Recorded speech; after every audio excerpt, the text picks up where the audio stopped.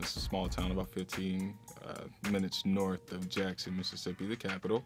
Uh, from a huge family, lots of aunts and uncles. My grandmother had about 16 children.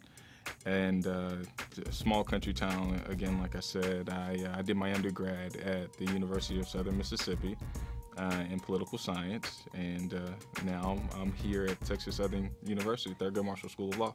My experiences at the conference have, have all been great. Uh, I actually came out to the first one, as I said earlier, and uh, from the first time we got there, I was able to meet attorneys and uh, law students basically for the first time.